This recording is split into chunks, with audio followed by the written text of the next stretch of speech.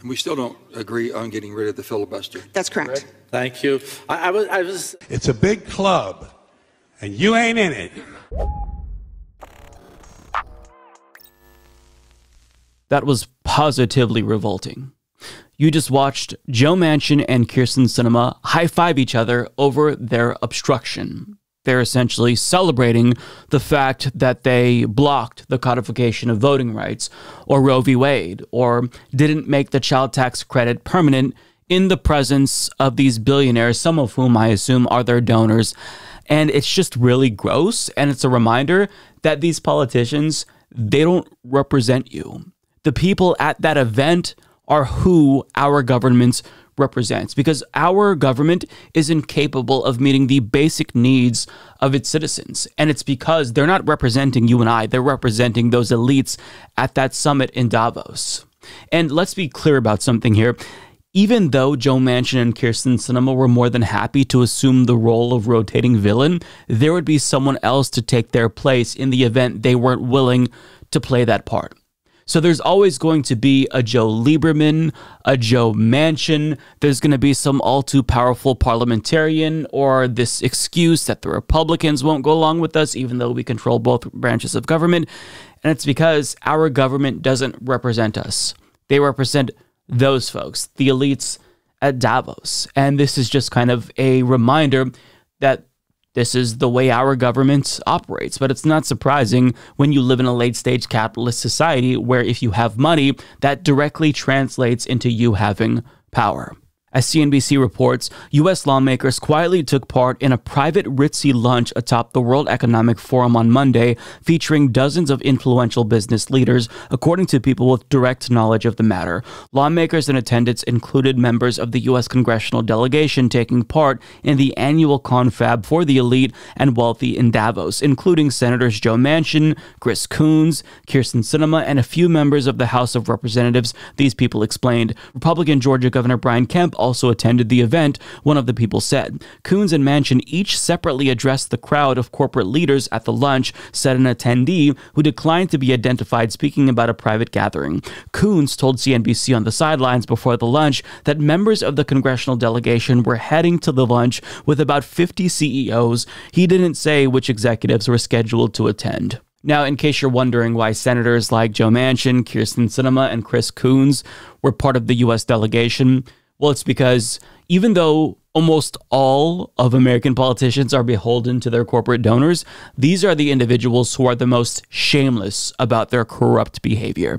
As Patriotic Millionaires put it, Davos is the world's largest and most prestigious gathering of powerful people pretending to do good while actually protecting the wealth of the richest. Could it be any more fitting that Kyrsten Sinema and Joe Manchin are part of the U.S. delegation? Exactly. Now, Costumer points out, after Manchin and Sinema chose to stand with the Republican Party and refused to repeal the filibuster, the child tax credit expired and childhood poverty increased 41%, which meant 3.7 million more children were forced into poverty. But yeah, high fives all around. Horrid. So it's infuriating because these elitist politicians and business leaders and wealthy people, they get together, they plot and scheme about how they're going to rig the rules of the game to further benefit and enrich themselves.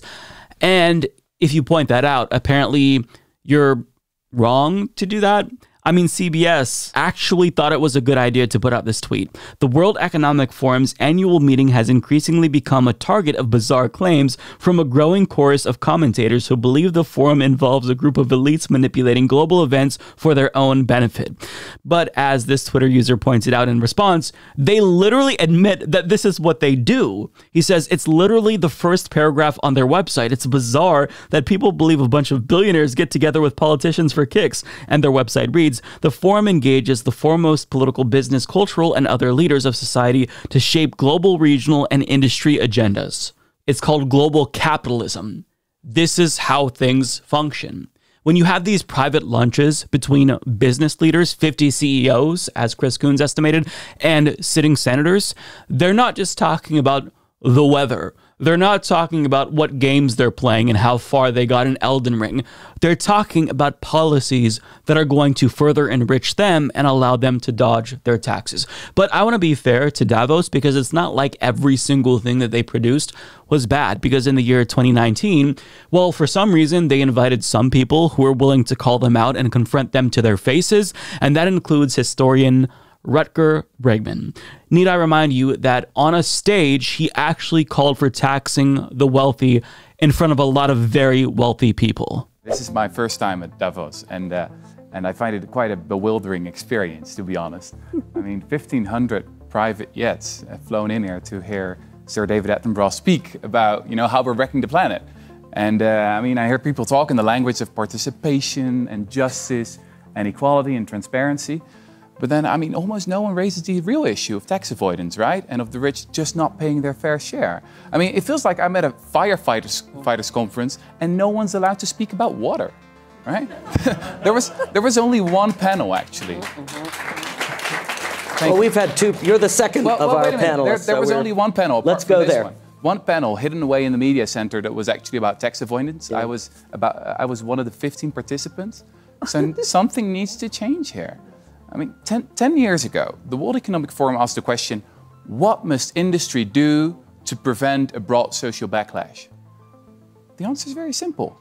Just stop talking about philanthropy and start talking about taxes. Taxes, taxes. We need to. I mean, just two days ago, there was a billionaire in here, uh, what's his name? Michael Dell. And uh, he asked the question like, name me one country where a top marginal tax rate of 70% has actually worked. And, you know, I'm a historian. The United States. That's where it has actually worked. In the 1950s, during Republican President Eisenhower, you know, the war veteran, the top marginal tax rate in the US was 91% mm-hmm. for people like Michael Dell. You know, the top estate tax for people like Michael Dell was more than 70%. I mean, this is not rocket science. Mm-hmm. I mean, we can talk for a very long time about all these stupid philanthropy schemes. We can invite Bono once more, but come on, it's we got to be talking about taxes. Yeah, That's it. Taxes, taxes, taxes. All the rest is bullshit, in, in my opinion. Yeah, so he exposed all of these elitist pricks for who they are. This is nothing more than a circle jerk for elites to try to make themselves feel better while not actually addressing the elephant in the room, not actually talking about the ways in which they can better the world. And that is giving up the wealth that they're hoarding, that many of them stole from their employees through exploited labor. Now, Rutger wasn't the only individual in attendance because on that panel was also the executive director from Oxfam back in 2019. And she also said the same thing that Rutger said.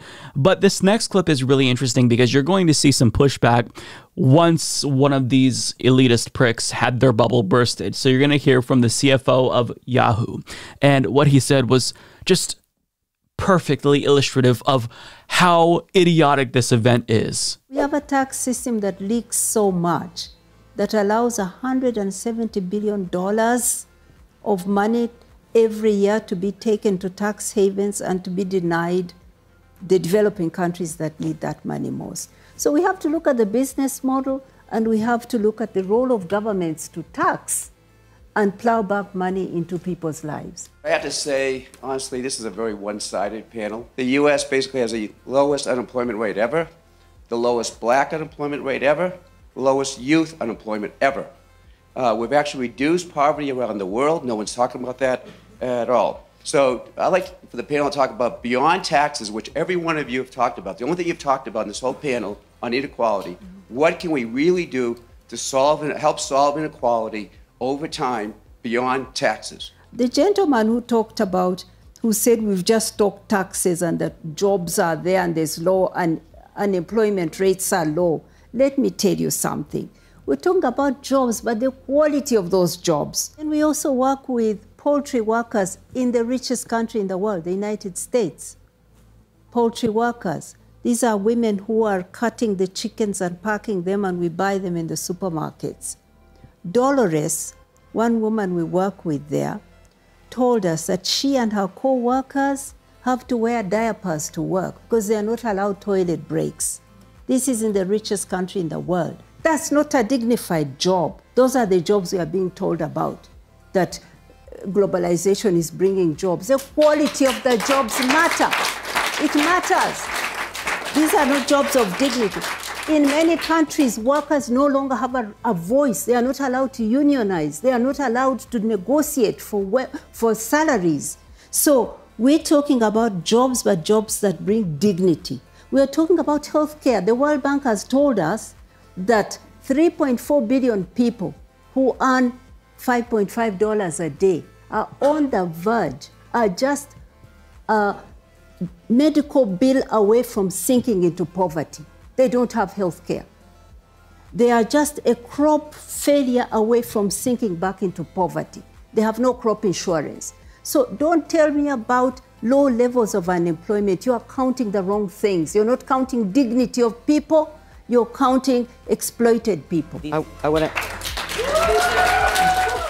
That was a mic drop moment. Now, that CFO of Yahoo gave us some insight into how these elitists and rich people actually think.